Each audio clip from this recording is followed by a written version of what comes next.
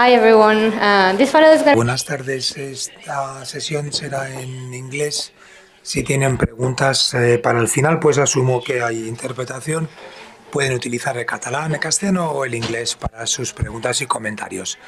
Muchas gracias. Tenemos el Nandini también aquí ya. Sí, quizás eh, como vamos a empezar, si os queréis acercar.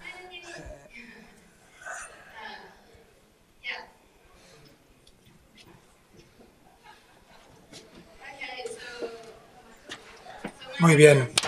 Me llamo Sofía, soy investigadora del Barcelona Supercomputing Center y estamos moderando este panel centrado en las perspectivas coloniales del feminismo y la inteligencia artificial. Alternativas, perspectivas no hegemónicas, eh, ideas acerca de la tecnología, en particular en torno a la IA. Tenemos a dos grandes conferenciantes que se van a presentar. Nandini Chami, a quien tenemos aquí, y tenemos también a Ryan Fala. Nandini, si quieres uh, presentarte tú misma.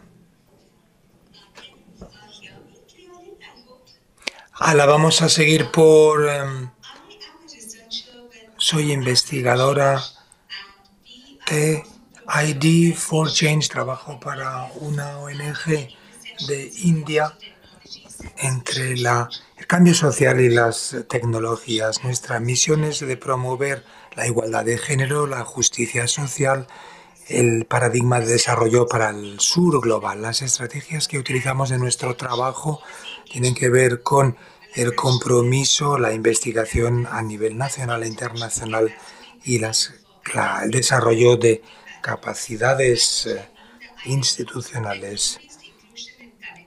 También la conectividad, la inclusión también cada vez más y la, eh, la explotación de la desigualdad social y económica son unos de nuestros temas de estudio. Queremos construir, desarrollar un nuevo contrato social a partir de este paradigma en el paradigma de las comunidades trayendo a las instituciones para también poder disponer de datos de arriba, de abajo arriba para la, para la comunidad, para los diferentes colectivos sociales. Y de momento pues me detendré aquí. Muchas gracias. Ahora tenemos a Rogen. Sí, que tiene una presentación. ¿Me, pondré de pie con vuestro permiso? Sí, claro que sí. Tenemos, disponemos de la presentación, sí, un segundo por favor. Bueno, puedo decir mi nombre. Me llamo Rayen, vengo de Chile y soy la cofundadora de Radical Data, un colectivo también aquí. Vivimos en Ámsterdam, pero estamos visitando, estamos, venimos al festival y estamos, eh, tenemos muchas ganas de compartir nuestra perspectiva aquí. Hoy voy a hablarles de la perspectiva del sur global en cuanto al activismo y por qué pensamos que esto es importante. Mis preguntas eh, las voy a compartir, no necesariamente buscando una respuesta, pero voy a compartir mis conceptos de investigación Creo realmente que la forma en que el sur global se compromete con el activismo y la acción política puede ser una clave para el activismo en todo el mundo en cuanto a los datos y la tecnología. Comparto esta imagen. Es la primera que quiero poner, la tengo siempre en la cabeza cuando pensamos en activismo, es de estallido social, la revolución que tuvo lugar en 2019 en Chile, en Chile.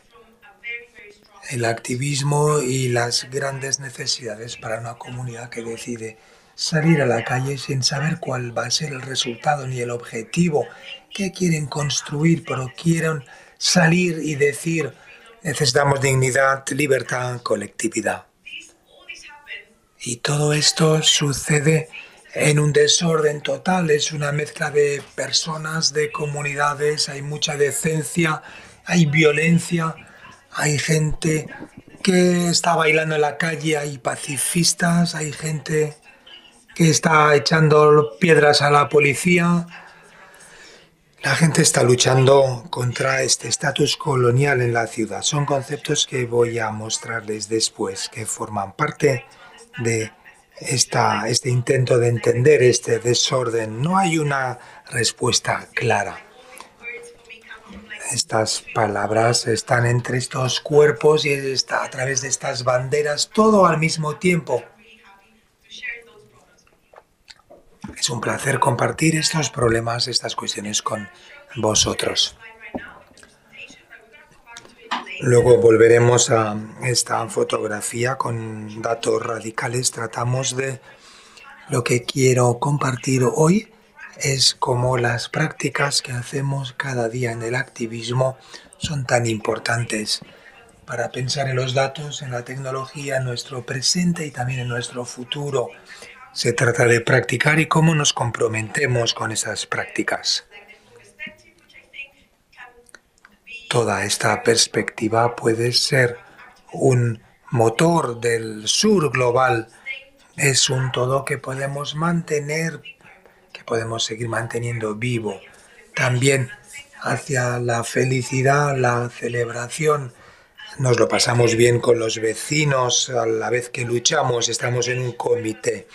También la importancia de pensar en los nuevos horizontes que no existen necesariamente, pero que no, pero que pueden ser una referencia teniendo en cuenta las revoluciones precedentes. Pensamos en comunidades, en nosotros, desde una perspectiva de no victimización.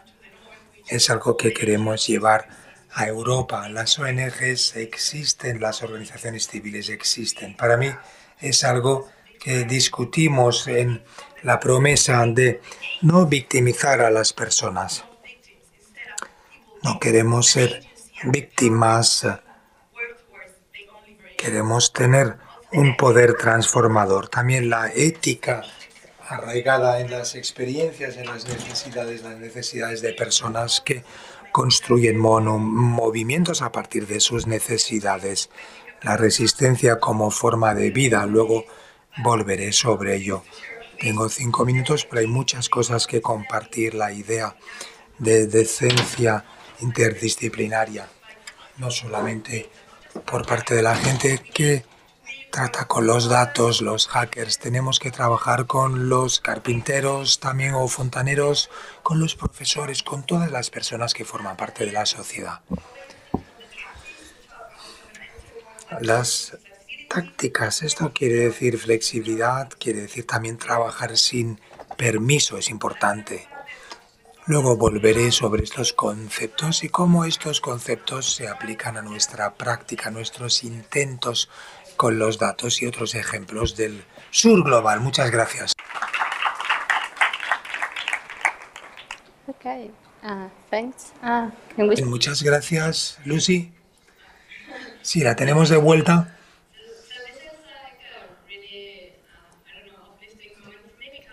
es un momento importante para mí porque en el comienzo llegué ahí hace unos años el valor del relato, de la investigación, el trabajo que se ha hecho, temas tales cual, como la superinteligencia, ahí cuando las máquinas o cuando serán más eh, inteligentes que las personas o incluso los estatus de las máquinas. Eh, ¿Cómo va a funcionar todo esto? Y lo que pongo por delante, estas cuestiones centrales, han estado relacionadas con la investigación, como los riesgos existenciales, por ejemplo. También hay una crítica de estos enfoques y me gusta este nombre que Kate Coffer habló de los problemas de los eh, tipos blancos, white guys problems partir de instituciones del norte global y han controlado el relato y han controlado la financiación porque es muy importante para hacer muchas cosas. Querría empezar con Nadine porque has eh, compartido tus ideas, pero según tu perspectiva, quizás eh, no sé si estás de acuerdo con esto. Hay otros problemas, pero ¿cuáles son los temas más urgentes en cuanto a la IA, el Big Data, las tecnologías digitales ahora mismo?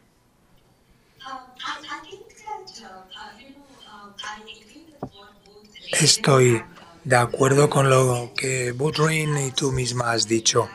Querría añadir que de todo el trabajo que hacemos, pienso que la única evidencia de que hay un problema de neocolización, neocolonización, este nuevo colonialismo de datos eh, se ha convertido en un buzzword.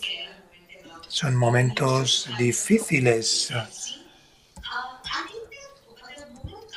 Creo que en este momento se trata de entender que hay mucho material y una injusticia epistemológica en este momento de descolonización. Tenemos el imperio digital, hay dos países que dominan la economía digital y todos dependen de ellos. Hay una concentración del, mar, del mercado creciente. Estoy segura que todo el mundo lo sabe, cómo funciona la concentración de poder también en los datos. Querría hablar también de que la vida tiene que ver con el caos, con la celebración de las no reglas. Pero es lo que se ha dicho este régimen emergente de razones eh, neocoloniales. Uno puede ver que estamos ante la consolidación de un nuevo régimen de razón y la generación de fenotipos de datos que tienen estas eh, formas altamente específicas de toda una población podemos identificarnos, cuesta identificar a veces lo que se debe hacer. Hay que crear unos perfiles que no eran posibles antes de que se desarrollaran los datos como lo han hecho en las últimas décadas. Es un problema, incluso las naciones coloniales se han enfrentado a esto. Hay mentalidades gubernamentales que querían crear este sentido de colonialismo en las poblaciones hay que entender que las razones estadísticas han pasado de lo particular a lo general y ahora vamos de lo particular a lo particular y hay nuevas eh, formas de reivindicaciones, como alguien ha dicho. Es como si hubiera una nueva ontología con respecto a los datos eh, y parece que solamente los datos son importantes y nada más en este momento en particular lo que sucede es que hay un conocimiento social inclusive para abrir nuevas formas de expansión capitalista. Esto lo encontramos en la vida, en las relaciones sociales también, y es la cuestión de la dignidad, dignidad humana y la autonomía, porque se renega de la inteligencia y de la autonomía en pos de este imperio de los datos eh, que catalogan, que califican a los pobres, a los eh, malsanos o a los eh, marginados. Hay una estratificación de la sociedad. Ahora la razón pública ya no es posible, es difícil tener un diálogo público. En vez tenemos unas cajas negras corporativas que controlan los algoritmos, eh, los intercambios de datos y lo que se debe hacer.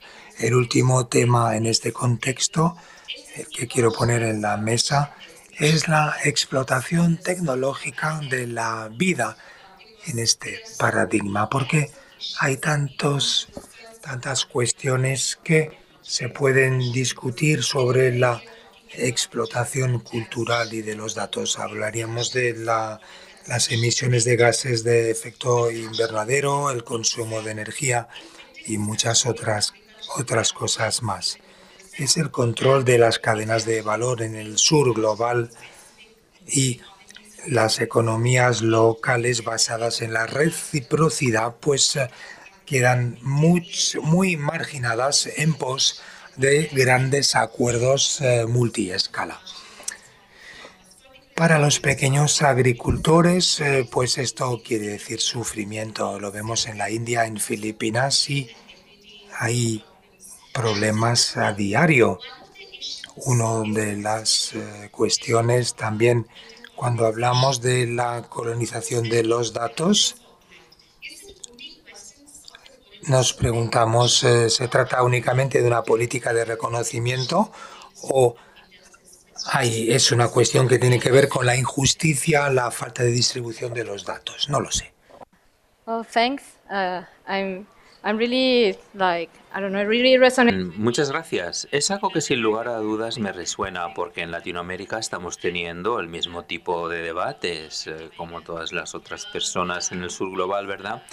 Y para nosotros, como has dicho, mucho de esta charla se ha creado en torno a la idea de modernidad y cómo este sistema moderno colonial es el que lo controla todo y cómo está relacionado con el patriarcado, colonialismo, la colonialidad y por tanto son los tres lados de la misma cosa, no están separados sino que está todo interrelacionado para poder entonces comprender, trabajar y resistir. Hay que resistir hacer resistencia a los tres ejes y cómo el sistema ha creado precisamente la negación de algunas poblaciones y de la humanidad respecto a algunos territorios, especialmente en el sur global, ¿verdad? Lo que ha pasado, por ejemplo, con la explotación de la mano de obra, las actividades de minas, etcétera, ¿no? Y estaba pensando precisamente, Reyen, podríamos hablar un poco de cómo el feminismo y la teoría decolonial encaja mm, estos temas, los comprende y los convierte en prácticas, porque creo que lo que es más poderoso de todas estas ideas es que no es la teoría siempre viene con aplicaciones prácticas, maneras de realizar las cosas y de causar resistencia, ¿verdad? Me gustaría compartir estas ideas con nosotros.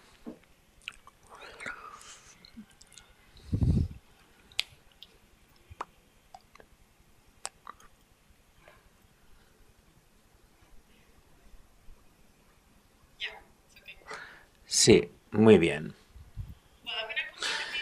Pues bien, volveré un poco a los conceptos y así podré esclarecer algunos de ellos que son ah, muy relevantes y a través de tu pregunta, Sofía, plantearé cómo nuestros proyectos permiten hacer que todo se ejecute a nivel práctico. Sería genial hablar con vosotros si hay cuestiones o ideas que puedan completar un poco lo que Dini, Sofía y yo personalmente estamos compartiendo hoy.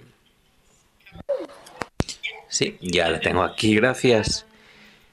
Pues sí, ahora hablaré de los proyectos, pero considero que algo muy relevante que Nandini y Sofía han mencionado, que también quiero sacar a colación para nuestro debate, cuando hablamos precisamente de esta perspectiva, yo creo que es algo que vale la pena que apreciemos. Estamos precisamente en una época radical en cómo ofrecemos esta perspectiva a nivel práctico.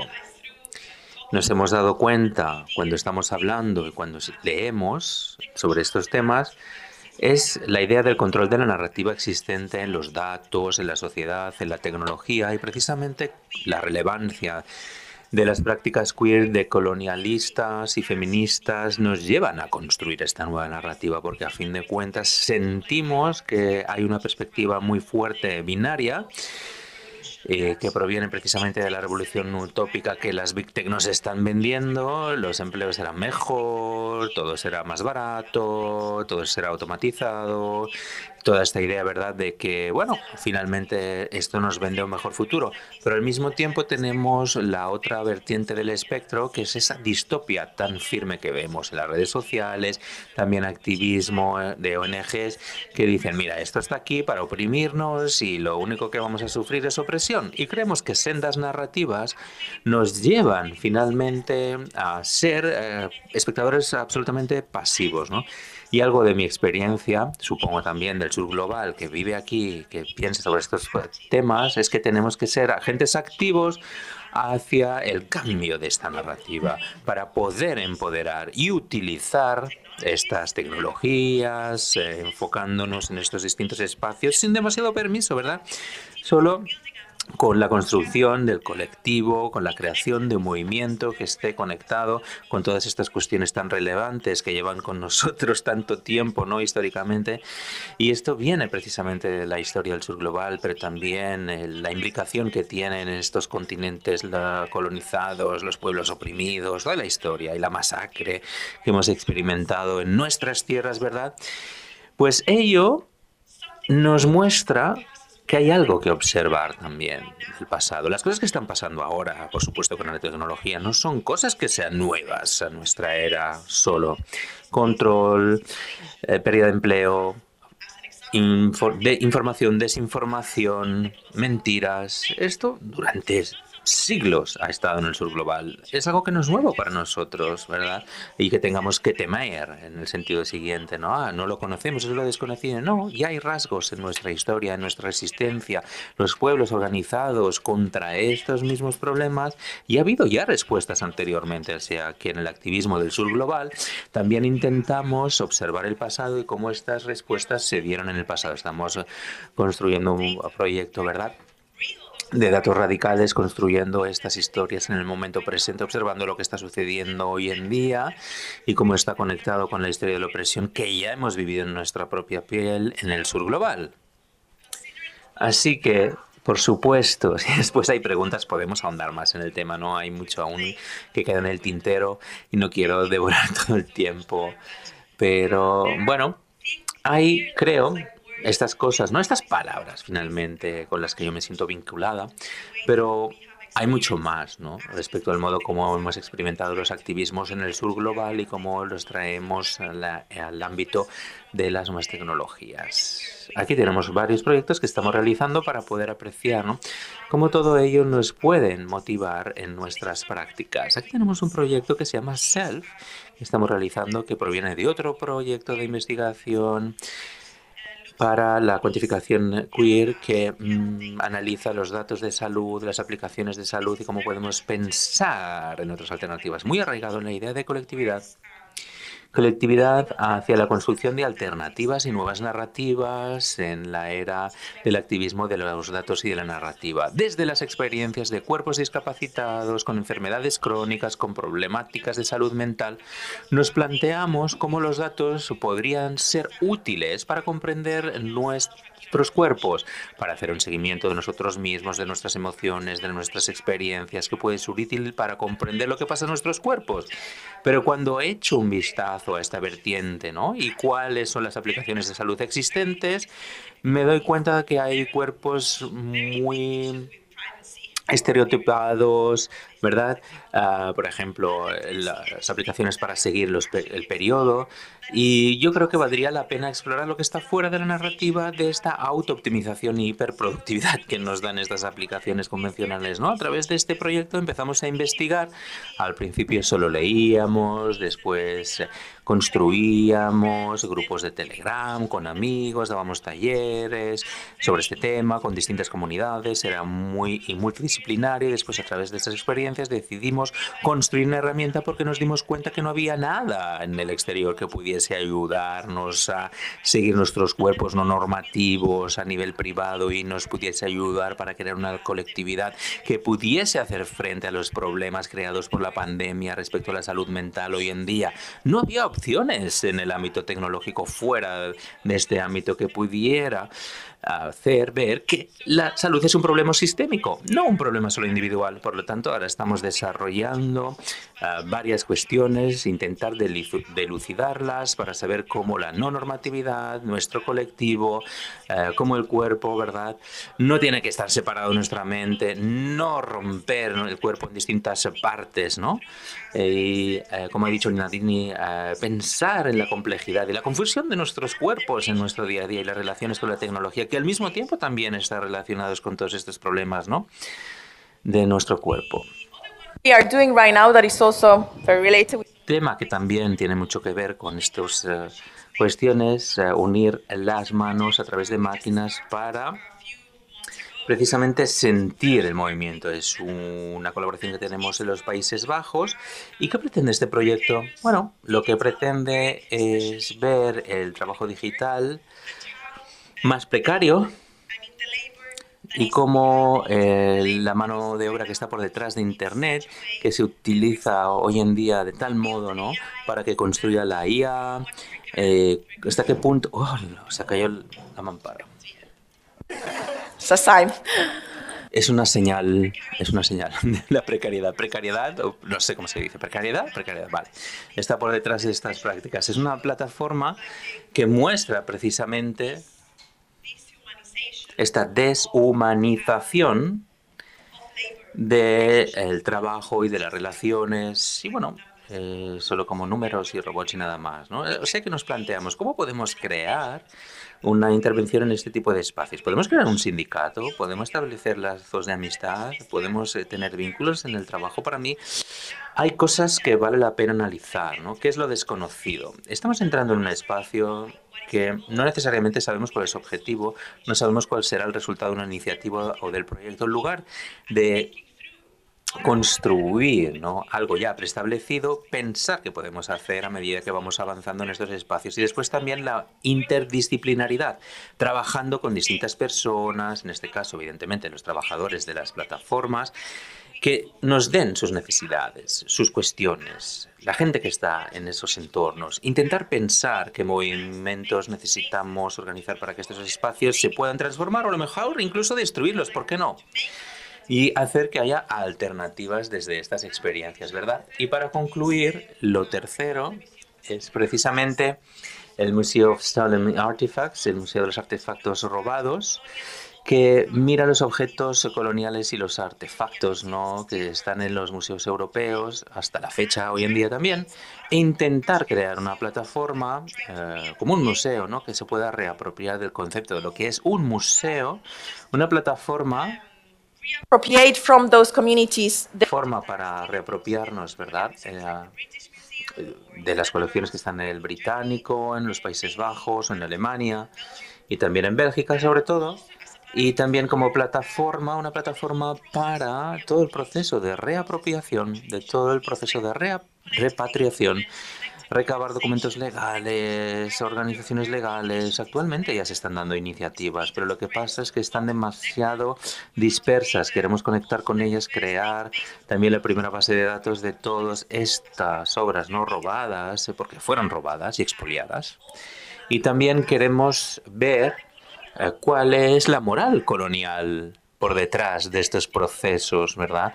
Que hace que estos objetos aún estén hoy en día en estos museos y cómo responder también a las personas, bueno, que dice que tienen que seguir ahí, ¿no? Utilizar trabajamos con la comunidad Rapa Nui, que es una isla de la Polinesia en Chile, la isla de Pascua. En este caso, cómo llevar a los Moais a Chile una vez más y cómo trabajar con todas las comunidades que también están reivindicando el retorno de estos objetos.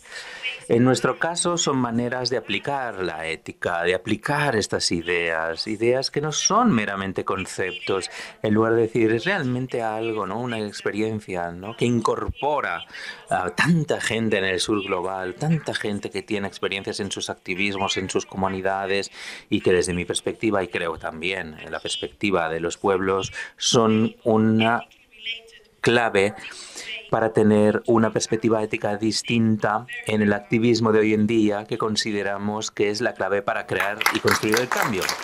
Gracias.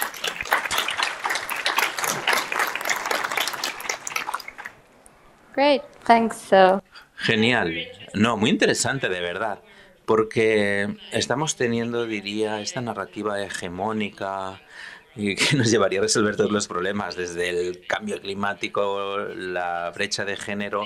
Es muy importante relacionarlo con los cuerpos explotados, territorios explotados, con distintas perspectivas, soluciones, modos de pensar y cómo utilizar la tecnología y cómo pensar también sobre el trabajo y cómo pensarlo de un modo distinto. Y al mismo tiempo también me gustaría eh, preguntarle a Nadine, a Nadini, perdón, ¿Tienes alguna idea, tal vez siempre en esta misma línea, tal vez, ¿no? de lo que estamos planteando aquí ahora respecto a la emancipación? y cómo relaciona la tecnología, con qué tecnologías tal vez. No sé si has aprendido algo de los proyectos en los que has participado. La tecnología digital es lo que necesitamos realmente o tal vez otro tipo de tecnología. No sé cuál es tu idea. Creo que si hemos aprendido algo en los últimos 20-25 años desde bueno, la aparición de la revolución industrial es precisamente esta tipología de perspectivas millennial respecto al hecho de que las tecnologías son pastillas mágicas para resolver los problemas y esto realmente no es así, ¿no? evidentemente no es nada de eso. Y queda más que claro también que incluso en documentos como por ejemplo el documento de los Objetivos del Desarrollo sostenible de, y los objetivos del milenio, bueno, realmente es erróneo, ¿no? Porque lo que está pasando, diríamos, es un cambio de paradigma, es un cambio de civilización que estamos viendo y nuestras respuestas deben ser de esta índole también, cambios de paradigma y por lo tanto Vemos cómo los datos se fusionan y cómo tienen un impacto en el paradigma. Si queremos ver cuáles son las causas de estas eh, tecnologías para la plataformización, eh, la acumulación del poder y también esta nueva estructura del mundo. Y entonces yo creo que cuando pensamos de las visiones de la emancipación, tiene que ver mucho, ¿verdad?, con el título de nuestro panel. Y me gustaría provocaros aquí a todos, ¿no? La diferencia de los derechos humanos tiene suficiente emancipación, es decir, el derecho, por ejemplo, a utilizar un idioma o reclamar, por ejemplo, el paradigma de la IA. Me gustaría decir que especialmente cuando estamos hablando de la experiencia utópica, porque a la Unión Europea le gusta posicionarse como una defensora del enfoque de los derechos humanos para el empleo de los datos y de la IA, me gustaría lanzar esta provocación. Eh, bien, los derechos humanos no liberales seguramente no defienden tanto la idea de emancipación. ¿Por qué? Diría porque hay varios problemas. El primero de los problemas, evidentemente, es que está exclusivamente enfocado en la autonomía personal y en el daño individual no es capaces de reconocer de un modo adecuado que hay condiciones materiales estructuradas que llevan a un daño colectivo en una estructura social específica.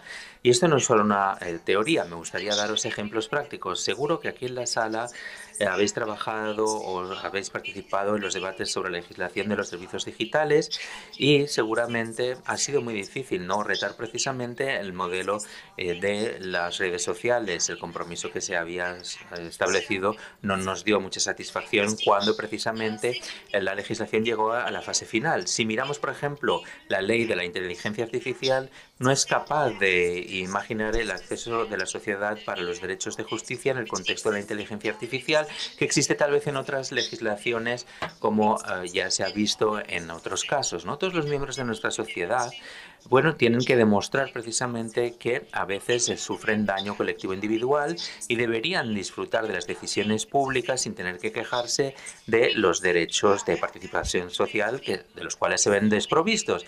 Y por lo tanto, muchas veces deberíamos legislar de esta manera para que todo el mundo fuese implicado. Y después también los derechos humanos ¿no? y la due diligence.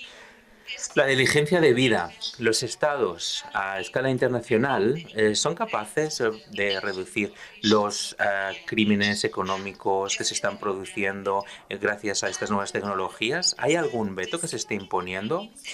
También como en los años 70 y en los 80 del siglo pasado, especialmente en el sur, vimos precisamente el, el, formulismo del derecho internacional, utilizamos los derechos humanos como un faro para, bueno, abrir los mercados y eh, crear eh, nuevas relaciones no coloniales que siempre nos habían subyugado, ¿no? Pues lo mismo podría ser. Los datos abiertos nos permitiría precisamente estar mucho más activos para, ah, bueno, el interés de las naciones más poderosas. Sí, esto siempre ha pasado, ¿no? Los datos de la OCDE muestran cuáles son los guías y que la OCDE dice que los datos estén al máximo abierto posibles para maximizar sus frutos y evidentemente esto siempre defenderá el interés público y privado y esta apertura ah, selectiva nos abrirá al colonialismo y, por lo tanto, los datos del sur global evidentemente serán muy interesantes también para el norte global y para que las grandes corporaciones se puedan beneficiar de ello. Y por lo tanto, las grandes corporaciones es algo que vemos precisamente que están sacando partido y tajada de ello. ¿Y cómo podemos estructurar todo ello? ¿no? para poder tener una visión para la emancipación. Y después creo que es muy importante observar y analizar los distintos órdenes institucionales y también imaginar distintos tipos de modelos, de la manera como utilizamos, por ejemplo, los datos de red y la tecnología eh, de inteligencia artificial que nos llevará a la inteligencia colectiva para precisamente organizar la ah, diríamos, la estructura social para hacer que las democracias sean más florecientes. Y entonces, ello me lleva a decir y a pensar que muy frecuentemente existe la tendencia de pensar que eh, la legislación y las demandas para precisamente tener una creación de infraestructuras uh, públicas uh, muchas veces entran en contradicción uh, con las agendas más establecidas. Yo creo que la infraestructura pública finalmente podría ofrecer muchísimas estructuras para tener precisamente proyectos bottom-up. No tengo que hablar más de ello considerando que estamos precisamente sentados teniendo esta conversación, ¿verdad? Y es algo muy beneficioso. Y el segundo punto también que me gustaría subrayar es que después pensamos, por ejemplo, en eh, llevar las tecnologías para que las políticas públicas puedan abrirse ante una conversación. Muchas veces eh, estas conversaciones sobre el paradigma del gobierno digital se ve solo como algo que llevará a, diríamos, a un control mucho más férreo. Según mi opinión, en los últimos 20 años lo que hemos intentado hacer es precisamente plantearnos cómo hay algunas normas sobre el terreno a nivel mundial para evitar este tipo de eh, conflictos que hayan dados demasiado difusos y cómo precisamente deberíamos dirigir las políticas en según qué sentidos para trabajar a nivel político y así precisamente realizar esta lucha para mm, acabar con las injusticias sociales. ¿no? Son más o menos una retaíla de ideas que quería compartir con vosotros. Muchas gracias. Pues ahora sí que abrimos el panel de, de intervenciones, la parte de intervenciones, discusión para, para nuestro público. Yes. Thank you. Um, thanks for your talk. It was Sí, muchas gracias y por favor se puede acercar al micrófono para que le podamos eh, traducir. Quería preguntarle sobre la viabilidad de los commons, de, de estos eh, de estos planes compartidos. Estos proyectos eh, se desarrollan de forma económicamente viable porque eh, hay una cadena de valor aquí que, de la que me gustaría saber más. Muchas gracias.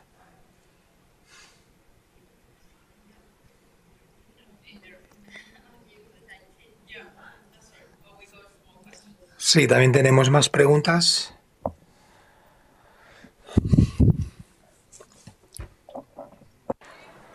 I wanted to address Sí, la pregunta para Nandini, lo que ha dicho ha hablado mucho con su provocación.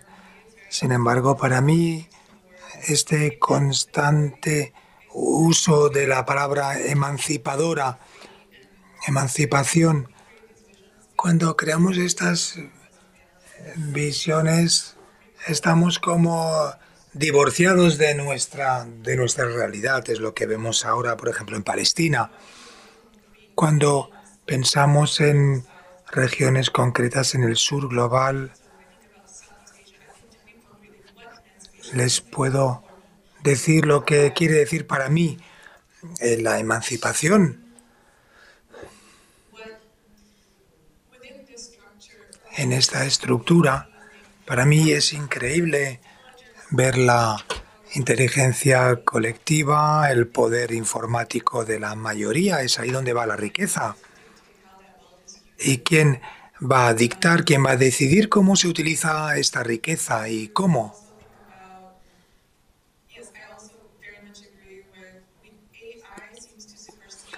La IA parece que se carga un poco todas las eh, conversaciones que hemos tenido anteriormente sobre colonialismo, etcétera.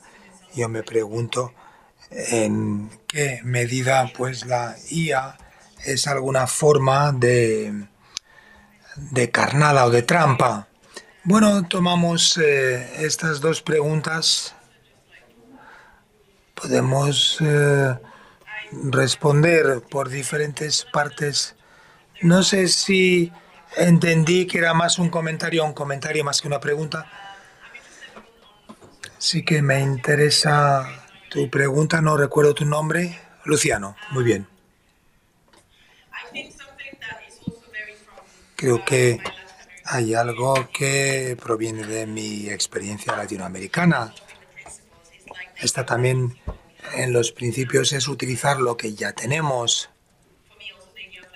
Para mí también la idea de low-tech está bastante relacionado y esto implica, en el caso de Radical Data, donde estamos trabajando, tratando de comprar tecnología barata, es una elección.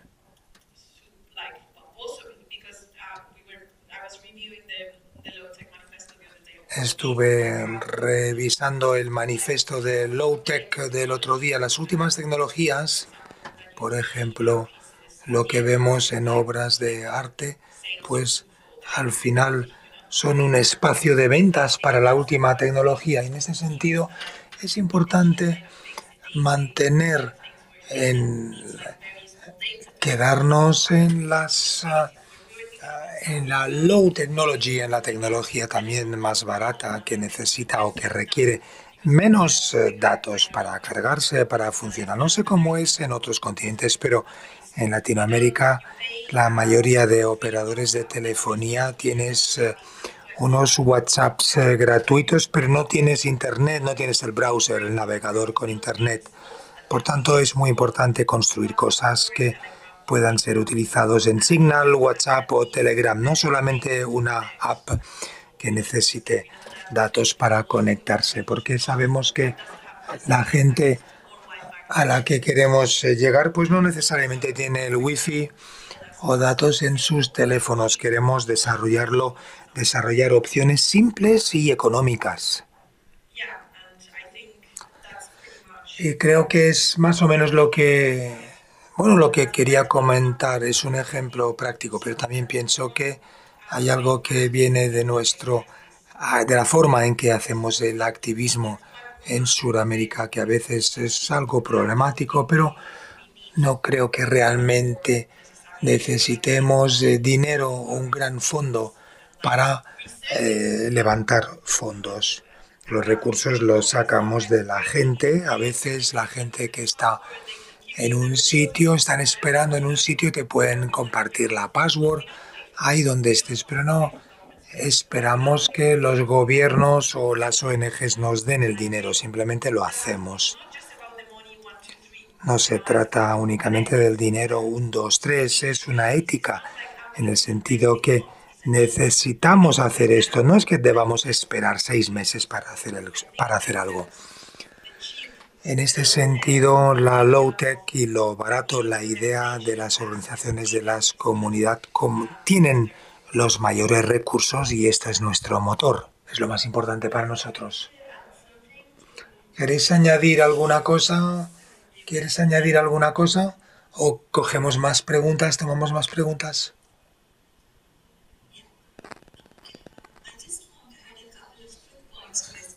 Sí, me gustaría añadir algo a esta última cuestión. Doy las gracias por subrayar este problema de utilizar la emancipación de una forma quizás algo desaprensiva.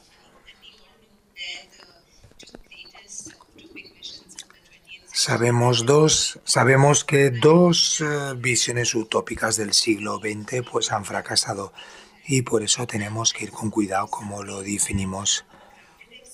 También una experiencia el año pasado en mi organización y también la red eh, feminista de desarrollo para los nuevos adultos.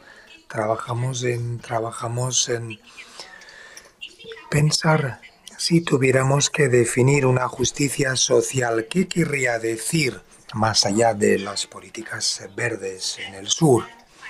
También se dijo que finalmente en el grupo Y también vinieron o hubo otras declaraciones. Había esta idea de que el conocimiento social que produce la IA pues puede entenderse que funciona como las redes eh, subterráneas de bosques, eh, más que la inteligencia corporativa y que cotiza en bolsa. Estamos hablando de la IA como un nuevo paradigma de cómo se crea el conocimiento social. Dicho esto, también comparto el escepticismo sobre la, la IA en cuanto a la tecnología. Asistí a un panel que, en el que se discutía de la, del desarrollo de la IA y podemos ver, puedo aplicar estos modelos al desarrollo de tecnología en la India. Puedo hacerlo. No se trata de puedo investir dinero para desarrollar la, la, calidad de vida de los trabajadores. No se trata ahora de esto. Las agencias, esta cuestión de la que estamos hablando es realmente muy interesante. Uh, I don't I don't know. know. How is the time? Do we have more time for questions? Or? Ah, we have five minutes. Para coger, si tenemos todavía cinco minutos para, para tomar alguna pregunta más, algún comentario, alguna pregunta. Sí, hay un comentario, una pregunta por allí.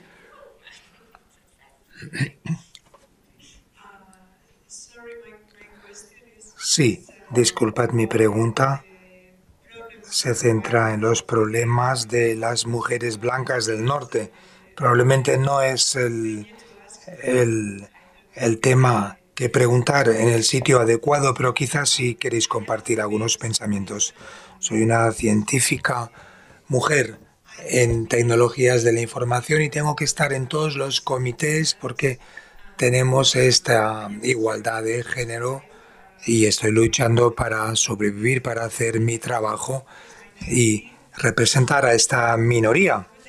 Y me gustaría preguntaros, ¿estáis uh, preguntando por estar presentes en los procesos de toma de decisión, de tener una voz, un empoderamiento?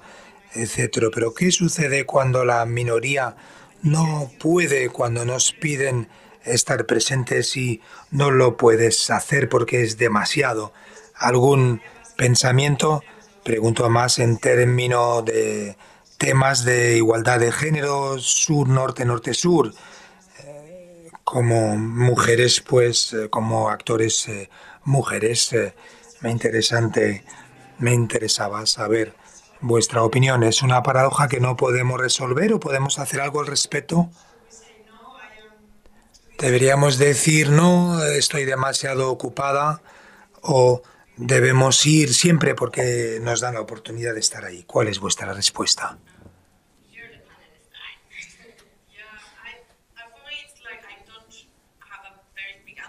Pues es difícil contestar porque no vivo en estos espacios institucionales, por tanto no tengo demasiada experiencia en primera persona, pero creo que estás eh, aportando algo muy interesante relacionado con las ideas de feminismo sobre el cuidado de cada persona.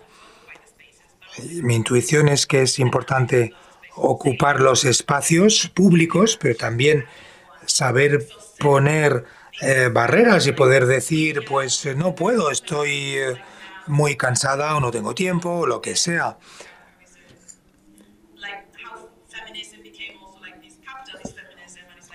Se ha, se ha llegado al capitalismo feminista también.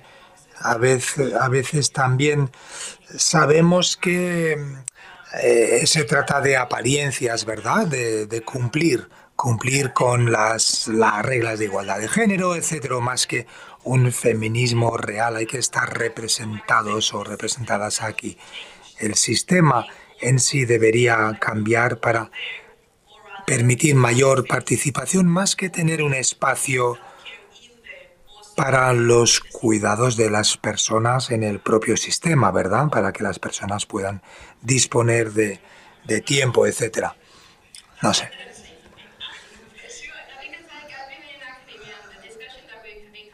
La discusión que hemos tenido en México especialmente ha creado estos nuevos lugares donde eh, van, donde tu voz será escuchado, escuchada. Esto toma mucho tiempo y las mujeres quizás no son consideradas en el trabajo. Esto no te da puntos de promoción, no te van a considerar mejor o vas a poder dar menos eh, clases tiene que ver con volver a pensar cómo las cosas se desarrollan para que la gente pueda hacerlo como trabajo, no como eh, un eh, trabajo suplementario que nos va a consumir el tiempo, el tiempo de ocio, el tiempo de familia o de lo que sea. Muchas veces la gente a la que se invita tiene esta impresión. Hay perspectivas de, de género. Esto sucede mucho con, por ejemplo, estas cosas de las recomendaciones, eh, también con el acoso, el acoso laboral. Hay que poder tener tiempo y disponerlo, tiene que poder formar parte de tu trabajo. Esta, esta es una idea, no sé si, si tenéis alguna, alguna aportación más. Sí más, eh, bueno, solamente dos eh, minutos porque tenemos, se nos acaba el tiempo. Si cogemos una pregunta más allí, por favor. Ah, sí, ya está. Bien. ¿De acuerdo? ¿No hay más preguntas? Hey, great. So, do you, Nadine, want to comment that? Si Nadine quiere comentar algo. Sí. Simplemente me gustaría añadir a este comentario que estamos abordando ahora lo siguiente. Cuando, a ver, primero empezar, ¿no? Reconocer el problema de base. Las mujeres precisamente no han estado en el diseño técnico, siempre ha sido un campo dominado por los hombres, como se ha dicho, y por lo tanto ese es un problema y hay que resolverlo. Pero después, si pensamos, por ejemplo, en las opciones de diseño inclusivo, ¿Por qué precisamente uh, hay comités ¿no? de, de, exportación? No es solo un problema de las tecnologías digitales, creo incluso en el ámbito ambiental es un poco así y por, los, por lo tanto hay distintas opciones tecnológicas. Se trata también de un experto de la independencia de la sociedad civil en el comité. Estaría muy bien. ¿Qué pasaría respecto a la capacidad de diseñar opciones y qué pasa sobre las cuestiones de la democracia directa para hacer que las voces precisamente se hagan oír, las voces de las mujeres? Probablemente deberíamos tener una mejor manera de hacerlo, como por ejemplo el ejemplo que siempre mostramos en el ámbito digital, ¿no? para que estas eh, comunidades eh, multiactoriales puedan participar. Por lo tanto, la autoselección muchas veces es eh, muy excluyente, sobre todo para las mujeres. Hay muchos estudios y observaciones directas al respecto, así que ¿cómo podemos tener otro tipo precisamente de colaboración abierta, de una cultura que nos sirva precisamente para escuchar las voces y sobre todo la tiranía ¿no? de la estructura nos lleve al silencio? Yo creo que se nos ha silenciado sobre todo cuando queremos crear nuevas estrategias alternativas ¿no? En este sentido. Genial. Creo que yo creo que es una muy buena clausura para este panel. Muchísimas gracias. Simplemente me gustaría decir ahora para eh, modo de clausura, ¿no? Nosotros en Radical Data siempre estamos abiertos a colaboraciones y si hay alguien que esté interesado el participar. Será un placer para nosotros hablar y si os estáis esforzando en algo que os resulta un poco difícil, Nendini también lo ha dicho, ¿verdad? Siempre cuando la tecnología no es la respuesta hay algo más. Así que estaremos muy felices de, de trabajar con vosotros. Hay una mano alzada ahí al fondo que tiene muchas ganas de hablar, no sé por qué.